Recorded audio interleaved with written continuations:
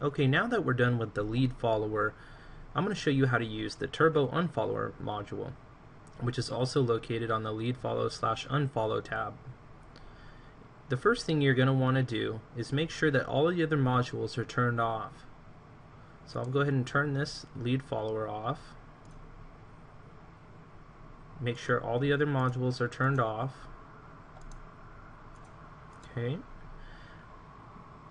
I'll go ahead and turn the turbo unfollower on. Click anywhere to go ahead and set the button.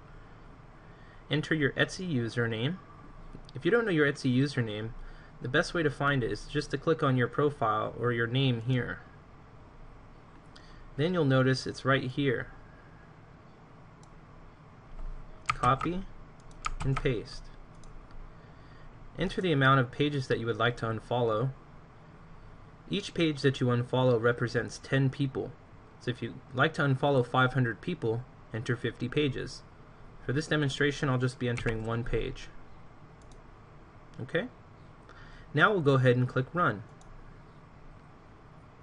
It'll navigate to your following page and start to unfollow 10, those 10 people.